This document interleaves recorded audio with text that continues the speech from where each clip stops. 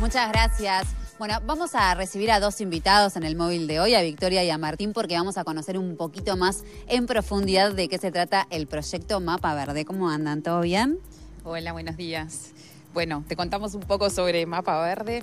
Eh, Mapa Verde va a ser una plataforma de comunicación para dar a conocer a las organizaciones, movimientos juveniles que en todo el país están actuando en torno a temas medioambientales. Y te digo, vamos a hacer, va a ser una plataforma porque ahora mismo estamos en construcción, este, bueno, con organizaciones juveniles y con otros actores con los que estamos trabajando. Capaz que Martín te puede contar un, un poquito.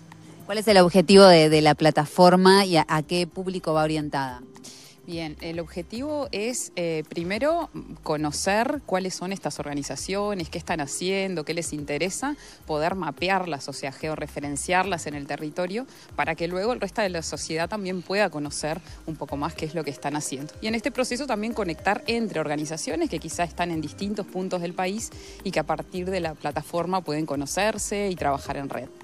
Martín, que para vos, ¿cuál es la importancia de, esta plataforma y qué significa también formar parte del proceso que tiene este proyecto?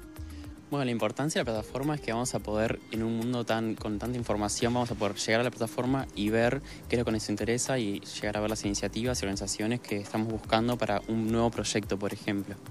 Y es importante también para vos, eh, como te decía, formar parte del proceso, no solo sumarte después de que ya esté creado, por decirlo de alguna forma.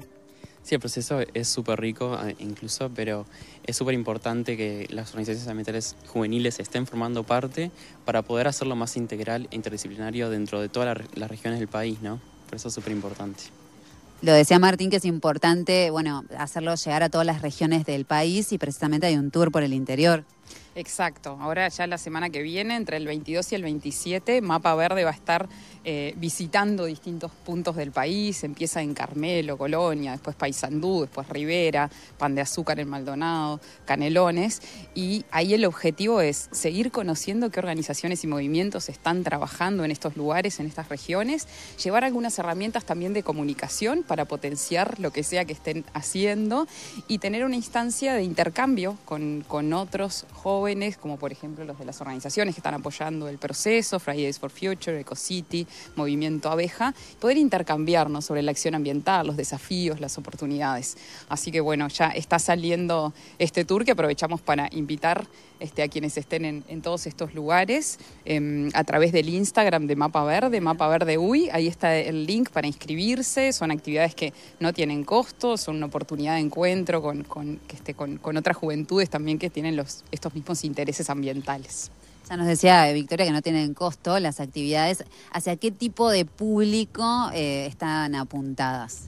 Bueno, estamos buscando eh, gente de 13 a 25 años que esté interesada en la comunicación y en temas ambientales y que puedan, que quieran formar parte de organizaciones eh, locales o a nivel nacional o que no, que solamente les interese los temas ambientales.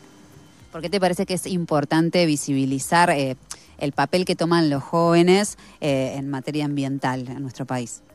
Sí, esto es una oportunidad este, para potenciar este, a la, acción ambiental joven, que es muy importante porque, bueno, como siempre dicen, este, son protagonistas también de, los efectos de esta crisis ambiental y quieren ser protagonistas de los cambios que necesitamos para, para transitar este, un, un camino como más esperanzador, digamos. Y por otro lado, también es el derecho de las juventudes de expresarse, de participar, de incidir en las decisiones que, que se están tomando. Este, eh, a distintos niveles para combatir la crisis ambiental. La idea es que luego del tour por, por el interior también van a seguir realizando actividades.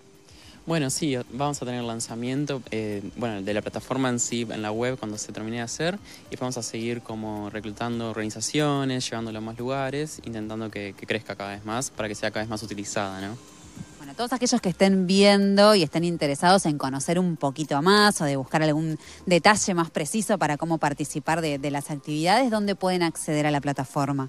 En Instagram hay un perfil que se llama Mapa Verde UI, eh, que ahí está toda la información, hay un formulario para inscribirse y bueno, y también hay notas que cuentan un poco más del proyecto, de sus protagonistas. Este es un proyecto, bueno, de la Facultad de Comunicación de la UM, junto con organizaciones juveniles como las que mencionamos, y que es posible por el apoyo de UNICEF, por el apoyo de em, la Embajada de Estados Unidos en Uruguay, también el apoyo en convocatoria del INJU, la colaboración de Data Uruguay, o sea, hay una serie de actores que nos juntamos para tratar de hacer posible esta iniciativa, así que invitamos a todos eh, los y las jóvenes en distintos puntos del país a que, se sumen y, este, y que nos ayuden a hacer un mapa verde realmente significativo y potente. Bueno, muchísimas gracias a los dos y bueno, aprovechamos antes del cierre, invitamos a todos los que quieran sumarse a esta linda iniciativa. Muchísimas gracias. Muchas gracias, nos vemos. Ahí teníamos a Victoria y a Martín contándonos todo sobre este nuevo proyecto Mapa Verde. Bien, de bien. Bueno, muchas gracias Nadia, beso grande.